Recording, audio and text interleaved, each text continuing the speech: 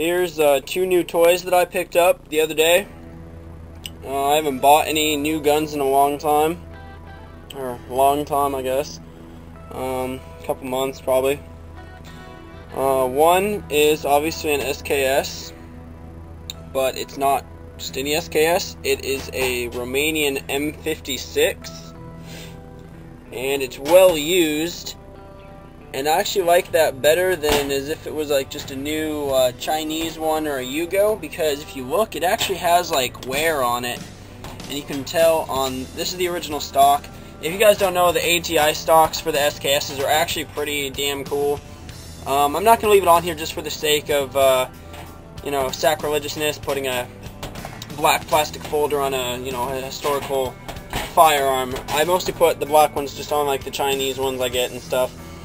Anyway, here's the stock. You can see it's all dinged up and uh, has signs of heavy use. Uh, I'm going to clean it up a little bit, but I actually like how it looks used. I, it gives it a cool patina look. And if you don't know what patina means, you know, it just looks uh, well used. I mean, you can see the chrome, or uh, the, the bluing is worn away on the entire bolt, the receiver cover, most of the magazine well, everywhere. It's just uh, missing, I guess.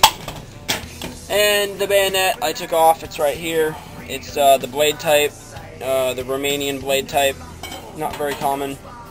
And then obviously the other firearm that I picked up is a Keltec Sub 2000, and it's the Beretta 92 version, which uh, it's a Keltec, but it takes uh, Beretta mags, so that's the Beretta Beretta 92 or M9 uh, magazine. And the cool thing about this, as most of you know, is you take it off safety and you pull this latch up, and the entire gun folds in half. And I'll try to uh, do it one-handed. So you go up, and then the whole gun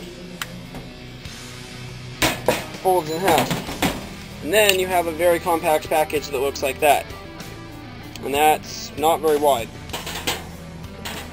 Here is the SKS bayonet, and that's comparable to a bayonet. So it folds very, very compactly.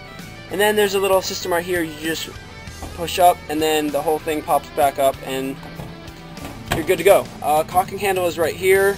Uh, you can cock it back and hold the bolt open. Bolt is actually in this uh, buffer tube. It's kind of like an AR-15, I guess. Uh, it's got a big, long buffer tube. Bolt is right here.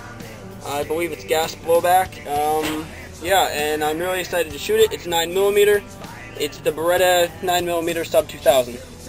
And these do come in Glock versions, Smith & Wesson versions, uh, Beretta versions, and one other that I forgot. But yeah, these are my two new rifles, and uh, figured some of you guys would be interested in the M56 Romanian SKS and the Keltec Sub 2000. Thanks for watching.